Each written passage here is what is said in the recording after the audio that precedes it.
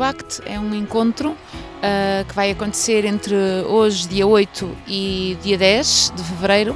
e que junta uma série de pessoas relacionadas com políticas e governança de, vários, uh, de várias cidades europeias e este encontro está inserido numa rede que se chama Interactive Cities e o Largo Residências é um dos membros desta, desta tal rede. Portanto, estamos a apoiar toda a organização do evento que vai decorrer em âmbito fechado entre hoje e dia 10, com um programa público que vai acontecer no dia 9 à tarde, nos espaços de conselho, aberto à participação de qualquer pessoa. Podem ir ao nosso Facebook e procurar lá o link deste Urbact e há, há quem se possa inscrever ainda para participar no encontro aberto que será amanhã à tarde.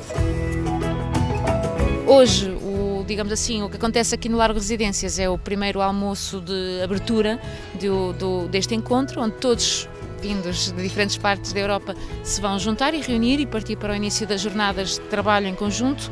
E nós quisemos que este almoço não fosse só um almoço, fosse também um almoço de boas-vindas, onde mostramos um pouco daquilo que também andamos a fazer. E, portanto, teremos um projeto nosso chamado Bloom, que acontece em, em parceria com a Junta de Freguesia de Arroz, portanto, que é o nosso grupo de limpeza urbana musical, cujos artistas são os trabalhadores de limpeza e higiene urbana daqui da freguesia, vão com a direção do Pedro Calado tocar uma pequena apresentação aqui no Largo para fundar as boas-vindas a este grupo e eles partirem para todas estas jornadas de trabalho conjunto.